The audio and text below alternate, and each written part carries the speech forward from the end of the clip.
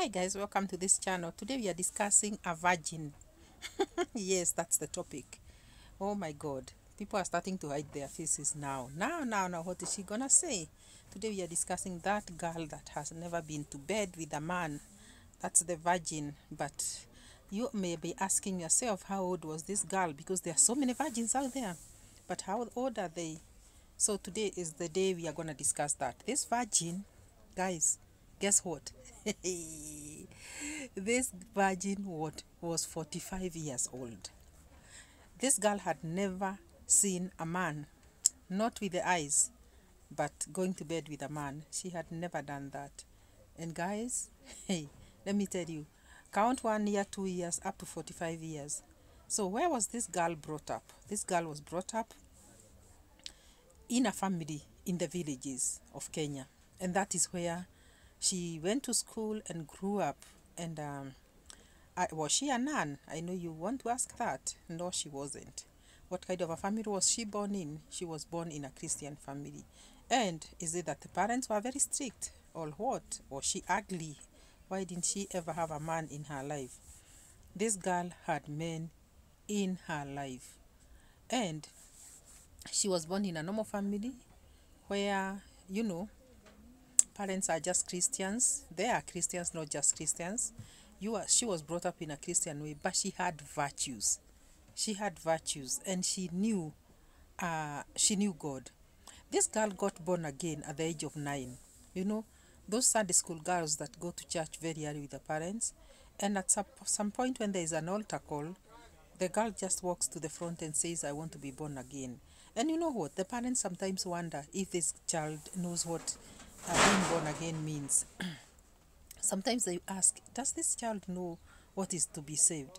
But this child is so bold, goes ahead and says, Yes, I want to be born again. I want to be saved. And that is what happened. This girl got born again on a serious note when she was nine years. And what happened is that after the primary school, um, she went to a boarding school and uh, it was not a Catholic school. It was a pre- Presbyterian um, uh, school, uh, but she mixed with people of different uh, religions, and um, she was always very, very faithful, very, very faithful to her God. But are you asking yourself the questions I'm asking myself, or I was asking myself when I was told this story? Yes, I am. Did this girl have a boyfriend? Usually, at the age of uh, 15, have I even gone very far? At the age of 15 is when girls starts getting their first boyfriends. and yes, this girl, even at the age of 18, when most of the girls finish their O level uh, um, uh, education, this girl never had a boyfriend. Never had a boyfriend. But this is not the reason why she was a virgin what happened is that um, this girl never used to, you know, to have a bad heart, if I should say.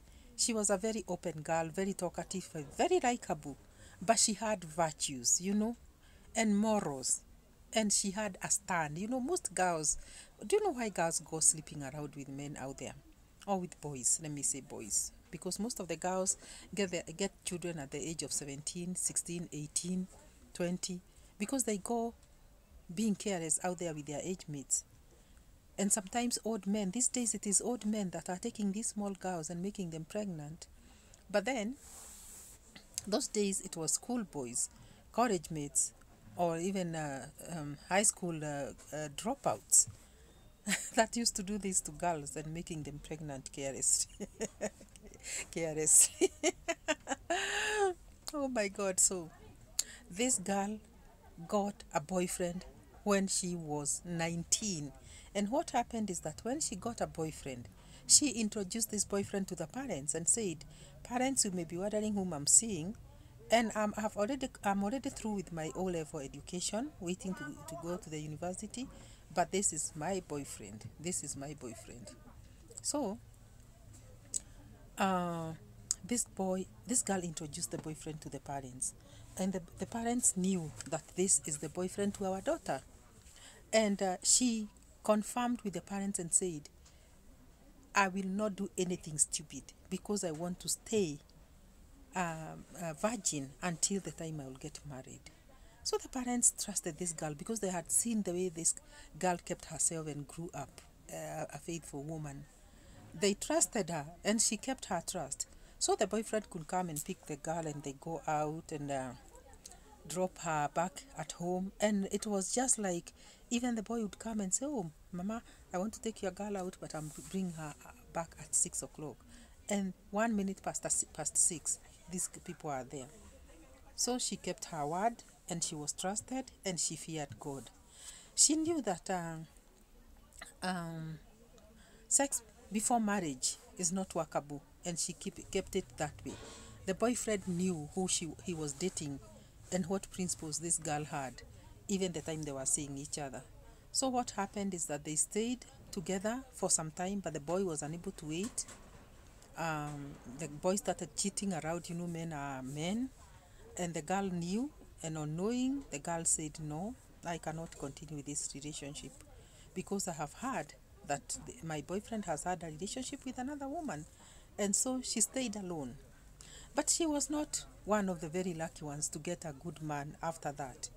So she went to college, finished, got a job, stayed at the workplace.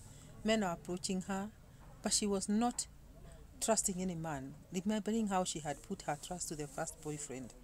But when she got a relationship again at the age of 24, she was like, Am I gonna succeed in this one? Because obviously, when I tell a man that I'm not going to bed with him, men are not willing to wait. So she was like, Okay, I'll keep it that way anyway. And uh, I'm telling you a story that I can justify and say it is the truth that this girl never went to bed with any man. So she got a few men between the age of 24 and um, be- before between the age of 24 and uh, about uh, 38 men could stay with her for two three years and then they drop out they leave the girl and you know why she was being left. She was being left because she was not compromising her belief and her stand. And uh, why i'm telling you this story is because there was this particular man that now the girl said okay i'm now 35 and i'm gonna introduce this one now to the parents. From the first time that she had introduced the 19 year old boy to the parents she never introduced any other man to the parents because she feared that uh, men will be introduced and then after that they are gonna be leaving her anytime. So at 38 35 is when she finally introduced the man that she loved. And you know now at this age you're also looking at your biological clock and you're saying oh my god if you could give me a serious man in my life i would appreciate. So this is what happened.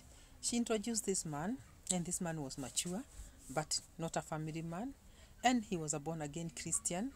And uh, the parents now prayed with the daughter and said now it's the high time that this man gets serious with you because uh, you are now already uh, mature and uh, for already at that age without even a relationship without a baby without anything that is late. So the, it was like a prayer session and the man was introduced. But unfortunately just like the other four this man still wanted to go to bed with this woman and uh, she was not ready to do that even at 38 so uh, why i'm telling you this story is that there are some um, there are some uh, decisions that you can make in life that even you the decision maker will fear after some duration of time and you'll say did i make the right decision but i want to tell you that this lady was sure that she made the proper decision and she was willing to wait. Have you known that song that says i've come too far to look back i have come too far to look back. This lady kept singing that song. I have come too far to look back. And she said she'll never look back because she'll no, never entertain a man in her bed for the sake of uh, having a, a relationship or for the sake of having maybe a child. You know, you can look at your age and you say, I wish I could just get a child, and then the, the rest will follow. This lady never compromised. And uh, guys, it was not easy. It was not easy. So, uh, I can tell you for sure that uh, this lady, at the age of 45, she was still a virgin. She was still a virgin. So, how possible is it for you to remain a virgin this long? I want to tell you that it is not easy. Or this person who is speaking here is a woman. So I can tell you that it is not easy. First of all, your body matures and the hormones are haywire at a certain age. Controlling these hormones is, is, is a job in itself. It needs a lot of prayers. There's also that age that you get to, especially like, you remember when we were in Form 2 and we had that nice, round shape. Our bodies get that nice, youthful look when we are 15, 17, 18, and we look very, very, very nice.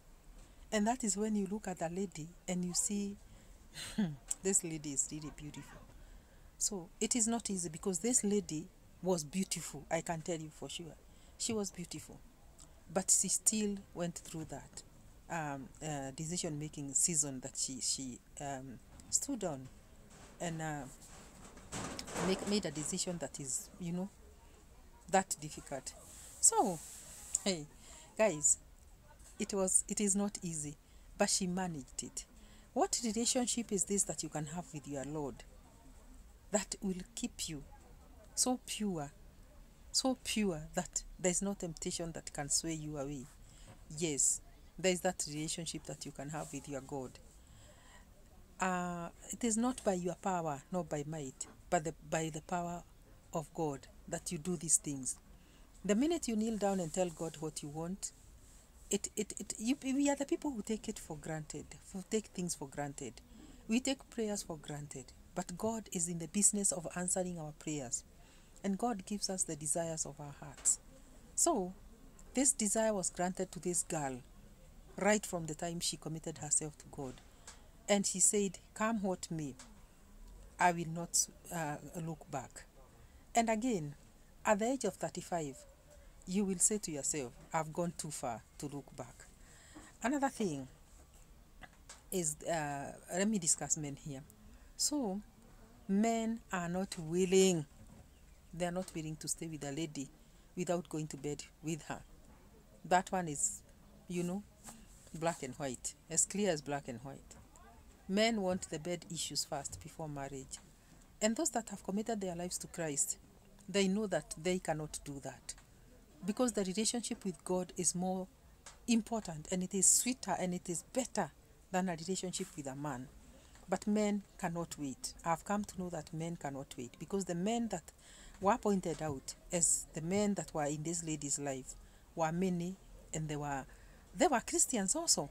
But when it came to bed issues, they were not able to wait because they said, No, I cannot stay with a woman that I've not tested. How about if I marry this woman and then she fails to give birth? And you may wonder, all these relationships that she was having, why wasn't a man proposing so that they get married in good time? So that this waiting can be curtailed. But I want to tell you that a man wants to test you first. A man wants to go to bed with you first. And this is very unfortunate. Most of the men that most of the men that uh, women that are born again get to see or to meet, they are also born again men. And I want to tell you that this uh, situation of getting born again and not even st- studying to your to the uh, commandments of God when it comes to men is one thing and, and truthfulness is another because men are declaring out there that they are born again but they are still sleeping out with women this is evident because this lady told it out she said i met two men that were very very serious to even get married to me and wait until the, the, the, the, the day of the marriage. Uh, but waiting until the day of the marriage was the hardest thing. They didn't want to do that. They just wanted us, first of all, to test the bed issues, and then after that, we can make a decision. Most of them said, How about if we get married and we don't get ch- children? But you are born again. You people are supposed to kneel down and pray to God, and God will offer what He says He will offer. God will always give you the best. When it comes to children, God will give you because you have decided. You have decided to follow Jesus. you remember that song that I've decided to follow Jesus? Yes, but men are unable to wait. Men want to test. Men, men don't want to have faith in what they believe in. You believe in God, but you don't want to have faith in that God. Because why do you want to go to a, with a man, with a woman to bed? So that she can see if she's pregnant and then you marry her when she's pregnant. This lady refused. So at 45, because I don't want this video to go for too long, what happened? This lady at 45 uh, years got married to a pastor whose wife had died. And this pastor was true to the girl. And this pastor married a virgin at 45. So, was this a preaching in church? Yes, it was. It was a preaching in church because the pastor stood and told the congregation, I will not lie to you.